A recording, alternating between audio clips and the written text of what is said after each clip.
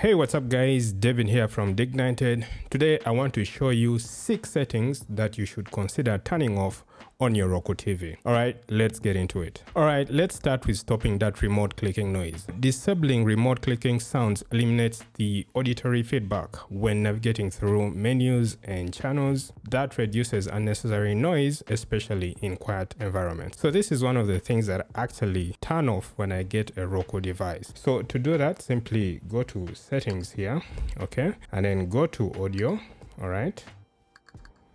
Right here. And then come to menu volume here. And then simply come to off right here okay? So if you want it really quiet you can go to low but i just turn it off completely. So i don't think you can hear the clicking sound anymore. It's completely gone and this is really great for those nights when you're watching a movie and you don't want to disturb your neighbors or your roommate Next, let's talk about personalized ads. Now, you can disable personalized ads to prevent targeted advertising based on your viewing habits. Now, you can do this by again going to settings here, okay? Then come to privacy right here, all right? And then come to advertising right here, and then uncheck personalized ads all right. So this will stop those personalized ads from roku. However you'll still see ads except that they will be less relevant to you. So just uncheck that okay and say uh, don't personalize my ads. All right. Now the next tip let's talk about the bandwidth saver now you can turn off the bandwidth saver if you want to maximize video quality and streaming performance even if it uses more data. So this is really useful if you have a very good internet connection and internet speeds are not your problem. You're not on a mobile data plan, for example, and data is not really the issue. So to do that, go to settings and then come to network here and then come to bandwidth saver down here. All right. And then just turn it off right here. Now with this standoff, you have maximum bandwidth for your streaming experience.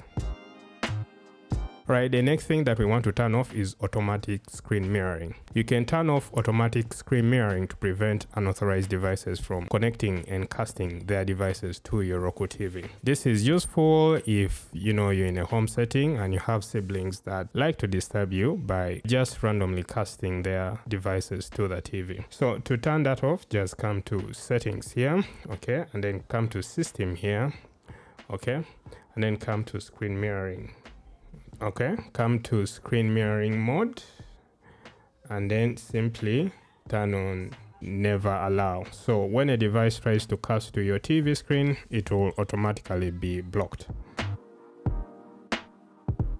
All right the next thing that you may want to turn off is the sleep timer. Now turning off the sleep timer disables the automatic tv shut off feature allowing you to control when your tv turns off. Now keep in mind that this feature is only available on Roku TVs. Alright, so to turn off that automatic shutdown feature, come to settings here and then go to system and then select power and then select auto power saving. Now you have two options here. You have reduce power after 15 minutes and then turn off after 4 hours. So you may want to uncheck the last one which is turning off after 4 hours. Again this feature is only available on Roku smart TVs, the real TVs. It's not available on a streaming stick. The other feature that you may want to turn off is closed captioning. By default, this is turned on. Now, turning off closed captioning by default allows for clearer display of the on-screen action and aesthetics, and this avoids any potential distractions caused by text overlay of the subtitles. So if that is something you're interested in, come to settings here and then come to accessibility right here. Okay. And then come to captions mode and then just select off right there. Alright, so those are my top 6 settings that you may wish to turn off on your Roku Smart TV. If you found this video helpful, go ahead and give us a like, subscribe to the channel and ring the bell icon so you don't miss out on future videos. Otherwise, I'll see you guys in the next one.